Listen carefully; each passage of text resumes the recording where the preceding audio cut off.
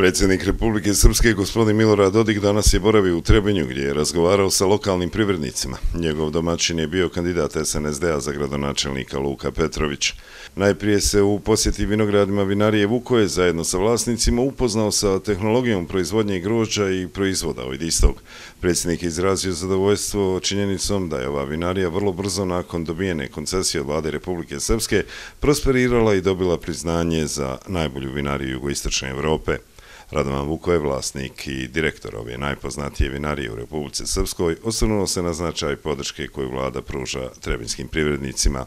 Za svakog vinogradara najljepši čin je kad svoje plodove može da pobere iz svog vinograda. Tako da evo i mi na najljepši način Berbu 2016. obolježavamo i evo mogu slobodno reći da nam je Berbu uveličao naš predsjednik Milorad Dodik i evo komentarišući ovo kako izgleda i sjećajući se kako je izgledala ova zemlja prije nego što je došla na koncesiju u podrum Vukoje, mogu slobodno da kažem da je najljepši dan kad jedan, mogu slobodno reći, vrhunski političar ovako može da na pravi način ono što je želio da napravi od svoje zemlje vidi ono što su plodovi rada vrhunskih vinogradara.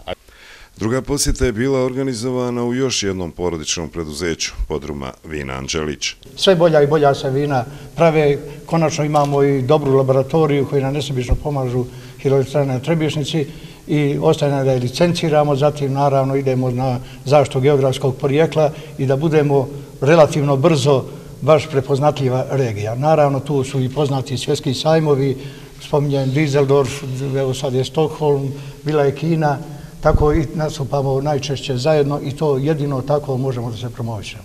I mogu reći da je to rezultat jedne upornosti i ljubavi ljudi koji su krenuli radili gotovo iz ničega, iz jedne male tradicije, male proizvodnje.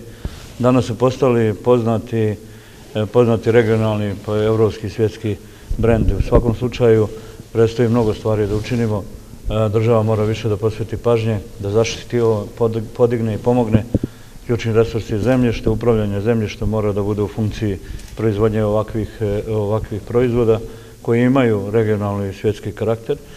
Upriličena je i posjeta ribnjaku Butreks ribarstvo, najvećem proizvođaču ribe u Bosni i Hercegovini, gdje je Dodika i Petrovića dočekao Veljko Buđen, vlasnik ribnjaka. Dodika je izjavio da je Butreks sjajan primjer upornosti i toga kako se može do velikog uspjeha ako se uveže preduzetnički duh, upornost i podrška države prije gospodin presnik je na mom imanju bio još 98. godine, to ste videli, videli ste tamo kad smo ja i oni stovarili 30 kamiona sami bez dizalica, ta dizalica nije bilo, nego ručno smo stovarili i ja i, i moj presnik i danas smo to u stanju, 30 onakih šlopera, jer se nemalo nismo promijenili, ostali smo isti. Jači smo postali. E, jači smo postali, ostali smo isti i, i nećemo se promijeniti dok je svijeta i vijeka. Ja želim samo Eh, ovim posjetama danas ovdje u Trebinju želim da podržim ljude, domaće ljude, domaće investitore. Velika je priča o, o, o stranim investitorima i naravno da niko nije protiv toga da oni dođu. Ali najveći grijeh je zanemariti domaće e, poslodavce, investitore koji su učinili sve da gotovo iz nemogućih uslova dignu ozbiljnu proizvodnju kao što je ova i kao što smo mogli da vidimo u vinarijama. Kod posjeti predsjednika Republike Srpske je Trebenju bio je radni sastanak sa više od stotinu lokalnih privrednika koji je održan u hotelu Leotar. Na ovom sastanku Petrović i Dodik su ponovo podvukli značaj domaćih investitora i saradnje lokalne zajednice sa republičkim institucijama koja u narednom periodu mora da se intenzivira.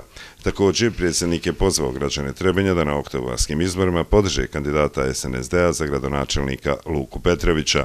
On je moj najbliži saradnik. To govori o tome kako smo mi pristupili ovim izborima. Mi smo odlučili upravo zbog značaja samog Trebinja da on bude kandidat za gradonačelnika. Uvjerni smo da njegov dolazak na tu poziciju daje novu dimenziju razvoja odnosa između Trebinja i Republike Srpske. Ja vjerujem da sa dolaskom Luke na mjesto gradonačelnika i dobrim odnosima sa vladom i institucijama Srpske, Trebinje dobija novu snagu, istakao je predsjednik Dodik. I to ćemo raditi, ako god i kroz